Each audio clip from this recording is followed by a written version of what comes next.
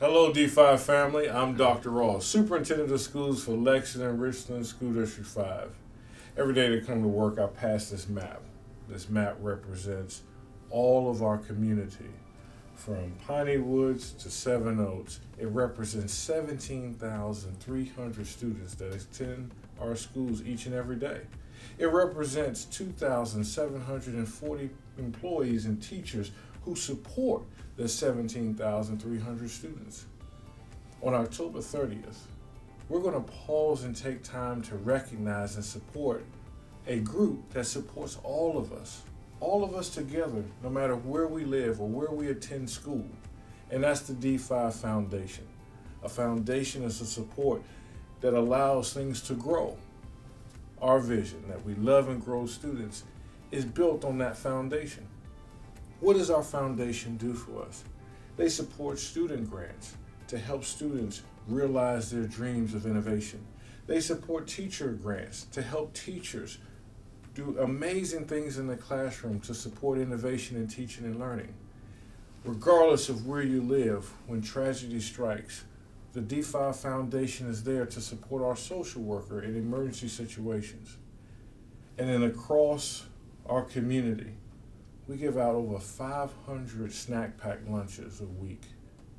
These are for families who are struggling with food insecurities. And so, yes, I love the rivalries that we have within our district, but we're all one family and we support each other. And our D5 Foundation sees us as one, one community, all together, working to love and grow our children. Let's support them on October 30th is our D5 Foundation Spirit Week. We're asking everyone in our community, uh, we have our link here, and you can buy a t shirt.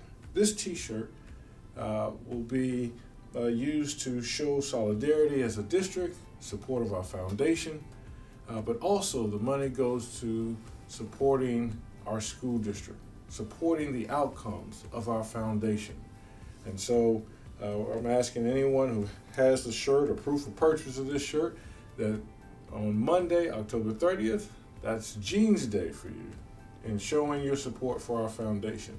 There's another way you can support our community, and that's through the auction that we have. Our D5 Foundation is supporting us with an auction. Uh, we ask you to bid on it. There's some really cool items. There's over 90 items that come from community, uh, businesses.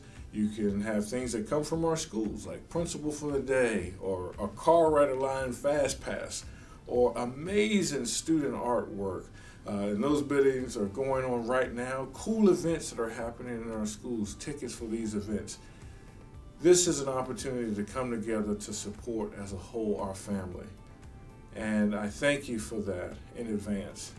Just remember, without that foundation, we cannot build the amazing work that we have in School District 5. So look forward to seeing everybody in their t-shirts and their jeans in support of that on October 30th or participating in our online auction as we support our community as a whole for our D5 Foundation.